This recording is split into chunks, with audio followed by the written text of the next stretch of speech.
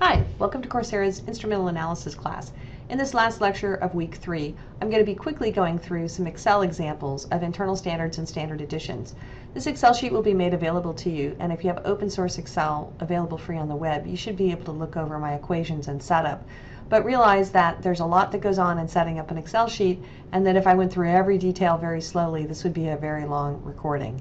So I'm just going to try to hit some highlights of how I derived my um, Excel sheets and so hopefully you can create your own. So this is the first problem I wanted to do. It's a pretty standard problem in that you're taking a calibration data set where you're increasing the amount of lead, you're measuring an increase in the AES signal, and you've included an internal standard of constant concentration at each data point, which of course leads to um, a way to sort of correct for fluctuations that may be present in the instrument. But if you look at the questions, the first several are really just about handling the data set without the internal standard. So for the first set, we're actually going to just focus on the lead and the AES signal. So to get the slope of this data, we just take type in equal slope, our x values and our y values. To get the intercept, we use the Excel intercept function. R squared, we haven't talked a lot about it, but it's nice to have. The closer you get to 1, the more linear your data is, the better the fit, although STEYX statistics a little bit better for us in that sense, but R squared is a pretty standard thing to look at. And as you can see, this is still a pretty good data set even in the absence of an internal standard. So the next thing I've been asked to do is to do a scatter plot. So you're going to highlight your X and Y, you make a little box, you come over to scatter, hit scatter, there you have it. The main thing I wanted to show you here is how to make a trend line. So if you go and right click on a data set, you can go to add trend line, you see it's linear, and what I really like is you can display the equation on the chart and display the R squared value. And so if you didn't want to type in these expressions, you could just make a chart. And if you want to put in some nice axis, you just go to layout and pick things like axis title, chart title, and you can clean this up. Usually I delete these over here to the right.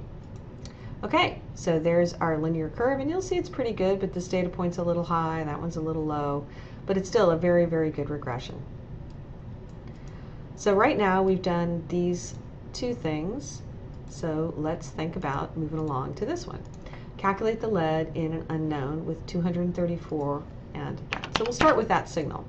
So to calculate the unknown, it's going to be the signal that we measure in the unknown, subtracting from that our intercept, and then dividing that by our instrument response function. And so we get a 4.68 error. So that's pretty good. All right, let's worry about calculating our error. I'm going to do this pretty quickly because I did this in the last one, but you can follow along. I'm going to calculate the statistic, the standard error of the estimate and that's just going to be STEYX, and it's my x values, and then my, sorry, my y values, and then my x values. There we have it. My SX x statistic is going to be the standard deviation of all of my x values in my calibration. I'm going to square that, and then I'm going to multiply it by n minus 1, which in this case is 6. So then there's this third term in the SX0 formula, which is a bit of a, of a bear, and it's going to be equal to the actual signal that I care about, we'll say 234 in this case, minus the average of the y values. And then the difference between all of that squared, and then we're going to divide it by the slope squared multiplied by SXX and we finish it out with one more parenthesis. And we get an SX, third term. Now we put it all together to get SX0, and that's going to be equal to SYX divided by the slope times 1 plus 1 over n, which in this case is 7, plus the third term. And then that quantity is to the square root. And we get 2.214. So I'm going to go ahead and uh, type in my error here. And so for one replicant measurement, that's why we went 1, it's just 2.21. If we want to go to 5, we just come over here and instead of 1, it's going to be 1 over 5. and we get 1.31.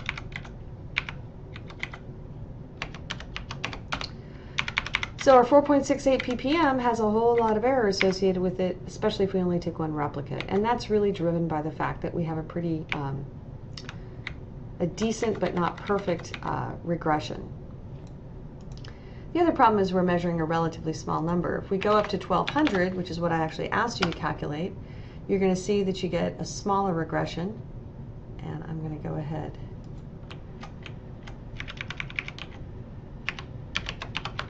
So what that example reveals is that when you're measuring really, really small values, you're going to have a bigger problem with your regression, meaning you're going to get error, and that error is somewhat fixed across the range. So in those low values, you're going to get 20 or 30%. But up here, you can see it's more like 10%. Now, if you wanted to turn these into actual error bars, remember, you're going to just multiply it by t. And the t value for this particular case, we have, a we have um, 5 degrees of freedom because you always look up the number that you took minus 2 in this case, and that's going to be 2.571. And remember, those degrees of freedom are given by this, which is the number of calibrations, times the replicate error there. And you're going to get 5.5 times 10, 5.5 ppm. Okay, let's do the internal standard because that's really the new part of this. So what we're going to do in the internal standard is we're going to actually take this initial data set and we're going to turn it into ratios.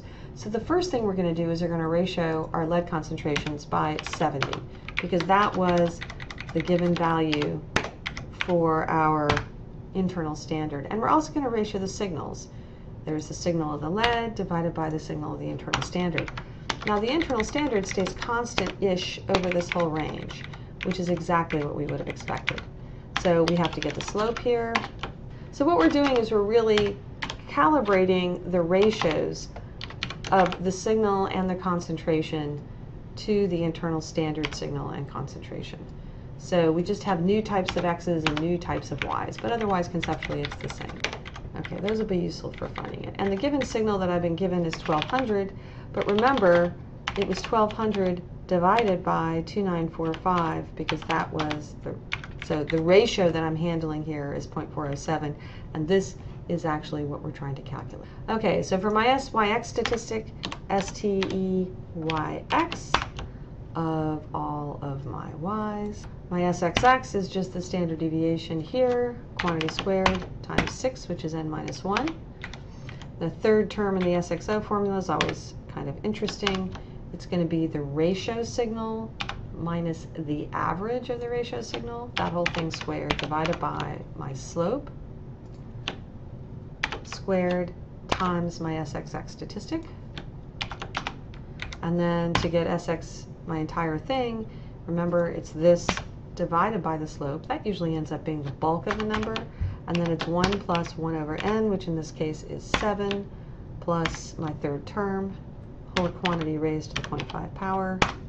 That's my ratio error. And then to get my ppm error, whenever I have that ratio, I multiply by 70, and that's my ppm error.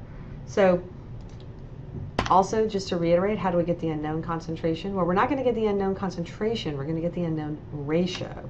So we're going to take this given signal ratio. We're going to subtract from it the intercept that we got for this new calibration. We're going to divide by the slope and that is the unknown ratio. And then if we multiply that by 7, 70, we're going to get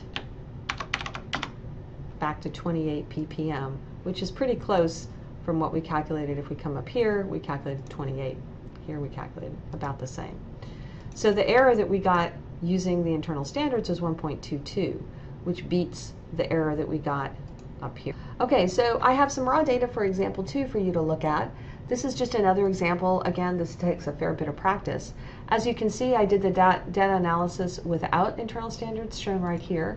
So what I'm going to do is very quickly, very quickly, go do the internal standards analysis for you. Okay, so in this data set, what's interesting is that you actually have quite uh, a bad calibration curve. If you come over here, I mean, that's barely a decent calibration curve. So we're really hoping that our internal standard, which in this case is gold, is going to clean up our copper analysis.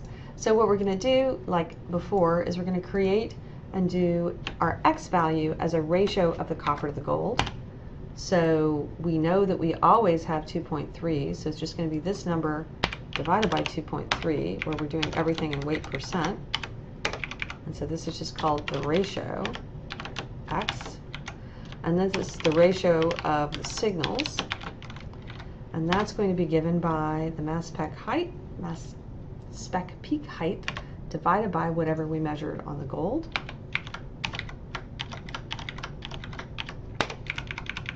See if we can clean that up. So this is actually going to be what we're going to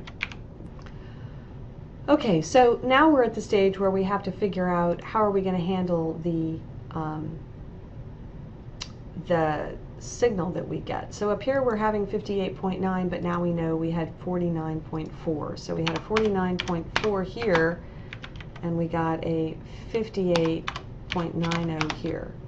So there you have it, and this is what we're trying to calculate. And finally, we're ready to put it all together.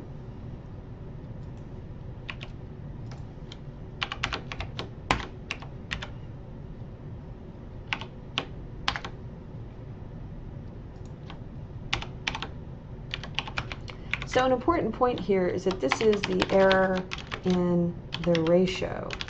And to get the error in the concentration of copper, we're going to have to actually multiply this number times the 2.3 weight percent that's present in gold. Since we're doing everything in weight percent, I'm going to just go ahead and multiply by 2.3. And we end up with 0.007, which is, sounds like it's about right. And that's going to be the error in the weight percent of the copper.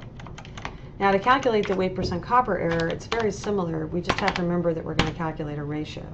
So as is always true, you take your unknown signal, you subtract from it your intercept. Then you divide it by your slope. Now what that's going to give you is your unknown ratio. And to back out what the, the weight percent copper is, you need to multiply that by the 2.3, which is the gold. And this is weight weight percent copper. And this is also, let me clean that up. So the units that you end up getting out here are going to be really defined by the units that you sort of define yourself for both of your axes. So there we go. That's the final error. And as you can see, uh, if you look at this particular data set, we got a 0.993 r squared, and up here we had a 0.917. And that's really the power of internal standards, is they're going to really wipe out some of that those errors, and we're going to get much, much smaller errors. Now, if you wanted to turn this into a 95% confidence limit, remember the degrees of freedom you look up is given by n minus 2 which in this case would be 3. And if you want it for a 95% confidence limit, you end up with a t is equal to 3.182. And so your final error bar is going to be this number times 3.182. And your actual measurement is 0.16. So it's a pretty decent error, and given how messed up this data was to start with, the internal standards clearly helped. Okay, so let's do two method of standard addition problems. So in these problems, one of the things you first have to do is calculate how to make your calibration standards. I haven't talked a lot about how to do that, but in this question you're asked to first calculate the amount of a standard to add to each volumetric before diluting to the mark. So this is just kind of some practice in figuring out dilutions in an Excel, Excel sheet. So you want your target cobalts to span from 0 to 10 ppm as shown here. So to calculate first the milligrams of cobalt that are present in each of your volumetrics, you're going to multiply your ppm number, which remember has units of milligrams per liter, times however many liters you had, which in this case was 0.050. So there you go. That's how many milligrams you need of each of cobalt in each of these um, containers.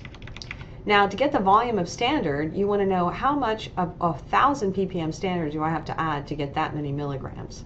Well, if I have a 1,000 ppm, that's migs per liter. So if I want, well, zero is easy. You're going to take the milligrams you have and you're going to divide them by a 1,000.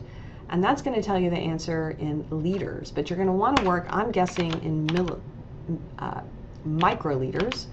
And the reason is that you have such a concentrated standard that you're not going to want to work in mils or liters because you'd have wouldn't right, be the right unit. So you're going to be adding microliters of material, and you can definitely get, for example, pipettemen that had pretty good precision down to about 100 microliters.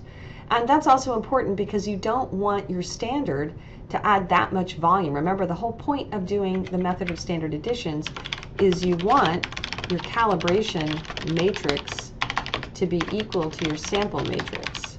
And so if there's too much um, standard added, it dilutes the matrix.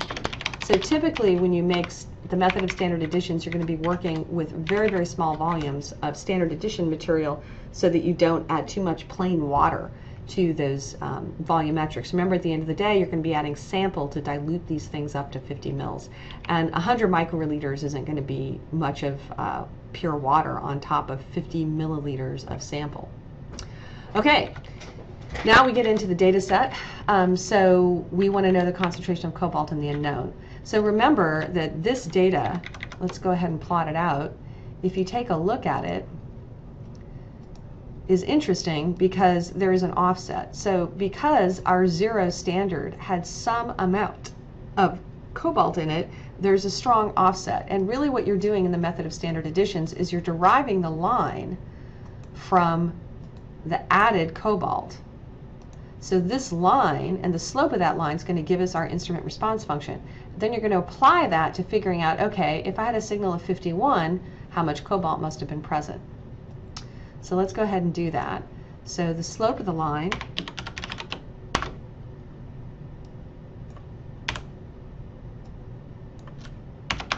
and then we have the intercept.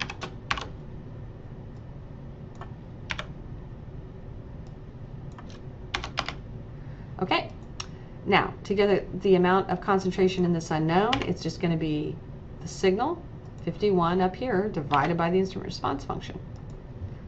And voila, that's way, way, way too many digits.